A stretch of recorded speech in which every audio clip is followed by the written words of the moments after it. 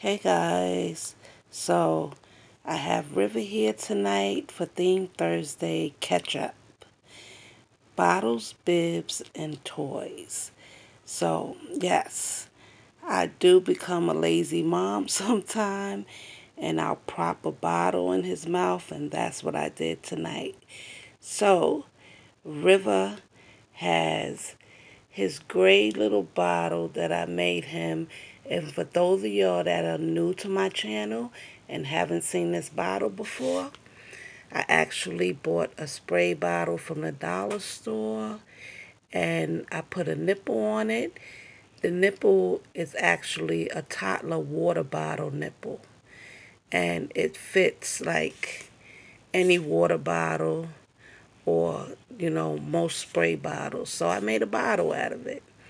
Okay, so that's the bottle and he's got on his little bib with two doggies.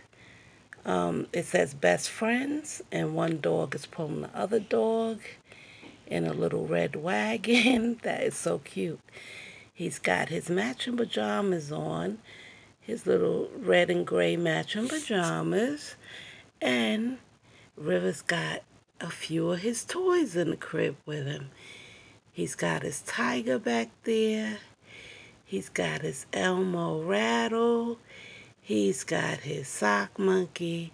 And he's got his favorite toy of all, which is this little lovey that I made him.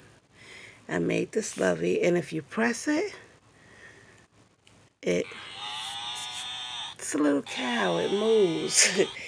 So there's River for Theme Thursday. Thanks for watching, guys.